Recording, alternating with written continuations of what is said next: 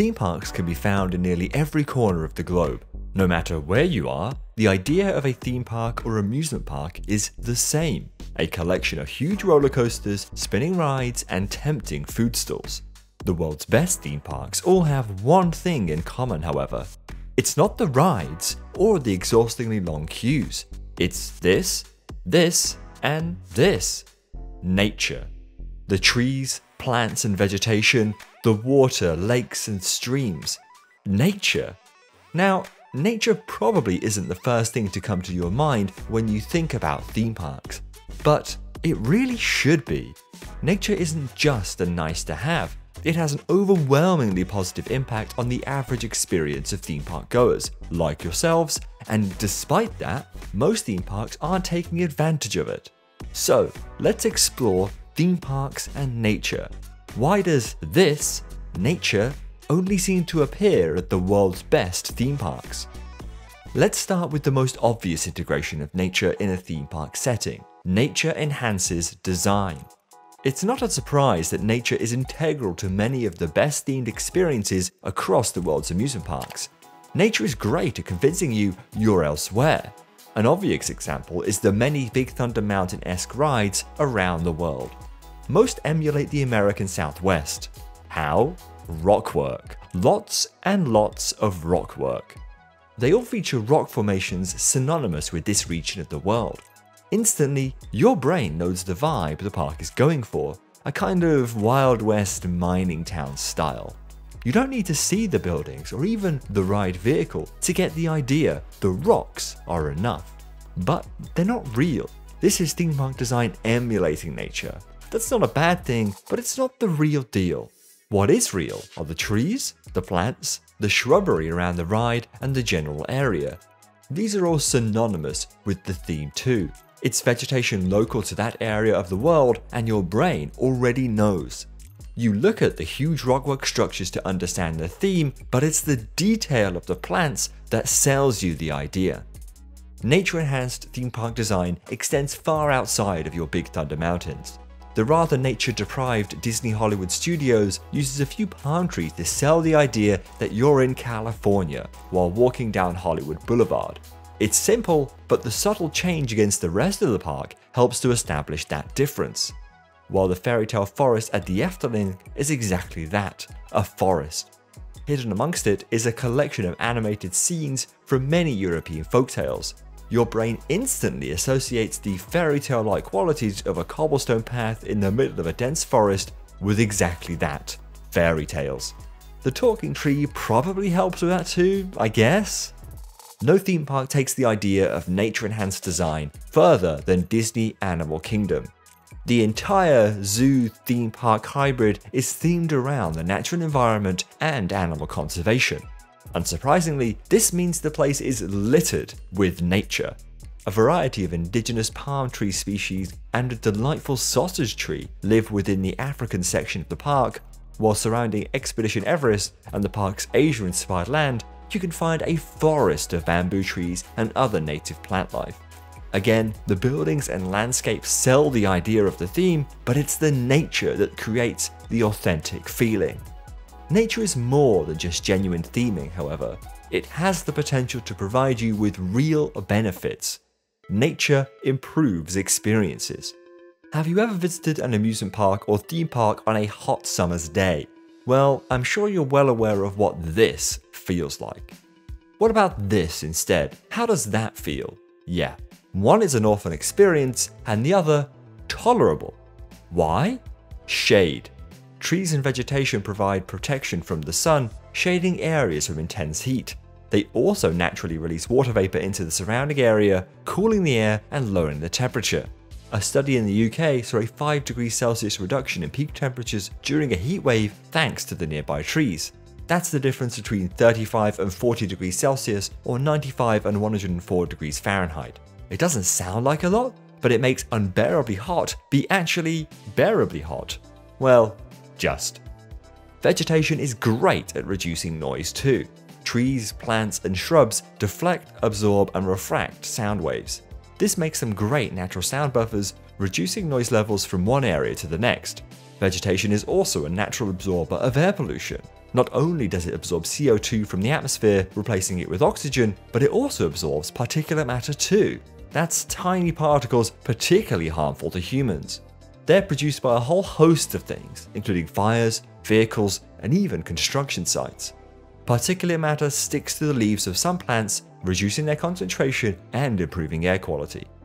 Many theme parks around the world are already making the most of the nature available to them.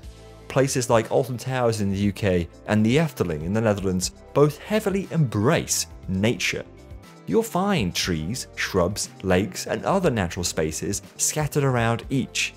This itself is rewarded with increased biodiversity. The Efteling in particular encourages wildlife. For example, bird feeders are placed around the park to create a better habitat for the local animals. The natural environment has a positive effect on us too.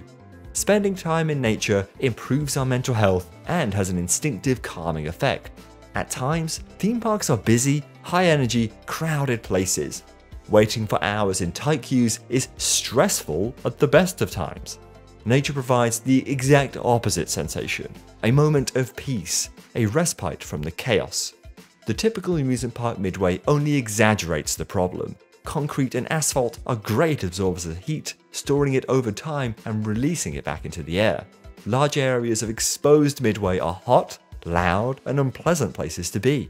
Trees, plants, and other vegetation help to break up the landscape, providing cooler, quieter, and healthier spaces. Again, would you prefer to walk around this theme park or this one? Here, the final point begins to make sense. Nature is an attraction. Outside of theme parks, nature itself is an attraction. People across the world flock to sites of natural beauty, pristine vistas, dazzling waterfalls, epic rock formations, and ancient forests. Long story short, we have a natural affinity towards nature. We're drawn to it we enjoy visiting it. We find delight in experiencing it. Often, it feels like an otherworldly experience, allowing us to escape the chaos and chore of our everyday lives. This, in a nutshell, is the exact same experience theme parks are offering a sense of escapism. Why live in the real world when you can ride roller coasters, get immersed in incredible rides, and enjoy good food? Over time, we're seeing more theme parks take advantage of the intrinsic sense of awe that nature provides. At Epcot's Journey of Water, nature is the attraction. There, you interact with water, learn about the water cycle, get lost in the plant-rich environment, and enjoy the small slice of Epcot set up to emulate the world of Moana. There are no rides, you don't board anything, you simply enjoy walking around a partially fake natural environment. At this point, we are well aware of the nature-enhanced design of Animal Kingdom, but there's one particular area of the park that takes nature to the extreme. In Pandora, World of Avatar, nature is the attraction. You're instantly met with an extraordinary sight, huge floating islands. Each one is equipped with a plethora of plants, vines and other wildlife, not to mention the waterfalls you quickly get lost in the colourful world built from a mixture of real plant life and alien plant life. Half of Pandora is obviously not real, but it all feels natural. It's easily one of the most true to life and real feeling theme park areas in the world. It's so easily immersive because we like nature. So even if you don't like Avatar, you'll like Pandora. It simply feels incredibly genuine. That's by design. First, you'd never know that there are any rides. There's two, and they've both been hidden incredibly well amongst the multicolored greenery. Second, designers chose to omit pretty much all Disney related imagery. There's no Mickey Mouse or even the over the top entrance portals, it's just you and nature. Disney is not the only theme park embracing this ideology. Universal Studios has its fair share of big theme parks too, in fact, they're building a brand new one in Orlando, Universal Epic Universe. At the very center of this one of a kind attraction is Celestial Park, a world between worlds connecting the park's four themed areas. Celestial Park is unlike most central theme park hubs. It's full of trees, plants, and vegetation, as well as water, lakes, and streams. This is no accident. Adam Rivest, the person in charge of Celestial Park's design, said, We've made a conscious effort to put the park back into theme park and made sure not to design it with lots of concrete and asphalt streets. Here, the area aims to emulate that of a traditional park, a space for people to gather, socialize, and connect. You're much more likely to rest and spend time in natural spaces compared to open, exposed, built up ones. When it comes to theme park design, this is genius. Celestial Park needs to be able to absorb huge quantities of guests coming and going.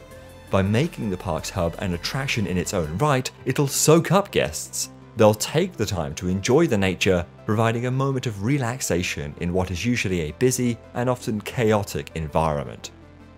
Animal Kingdom's Pandora and Epic Universe's Celestial Park are great examples of what happens when you bring all three of these points together. They're great examples of following a design philosophy where nature is fundamental to the idea and form of a theme park area. It's not an afterthought poorly tacked on, it's a core part of the design, helping to improve the area by making it more detailed, more enjoyable, and more immersive. We, as people, have an inherent inclination to affiliate with nature, an instinctive positive relationship with it. The implementation of nature in a theme park setting doesn't even have to be that grand. It just requires a bit of thought. Theme parks need to ask the question, how do we make the most of nature?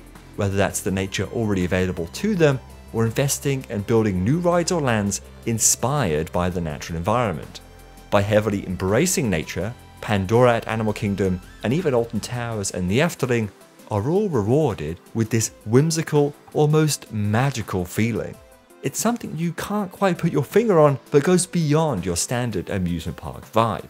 By taking advantage of nature, they'll further the sense of escapism, improving the experience of the average guest. So, with that in mind, let's do a bit of an experiment. Picture some of your favourite theme parks. Can you see nature built into their design? I personally gravitate towards parks that feature nature heavily throughout, places like Animal Kingdom, the Efteling, and Alton Towers. Each has a natural feel-good factor about it. I simply feel more relaxed, happy, and energized. What about your least favourite theme parks? What do they look like? One of my least favourite theme parks to experience is Disney Hollywood Studios. Why? Because it's nearly completely void of nature. The built up setting of the park makes it feel busier and exaggerates the feeling of chaos. Despite the great rides, I genuinely think it's the most stressed I've been in a theme park ever. We're able to experience bland, boring, built up landscapes in cities during our daily lives. Why would you want the same during a day out, a time that's meant to be for enjoyment and happiness? And that's the conclusion theme parks are places of enjoyment, escapism, and fun. Nature enhances, improves, and enables those experiences even further.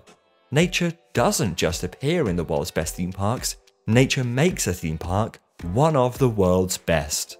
Thank you for watching, subscribe if you enjoyed it, and I'll see you all next time.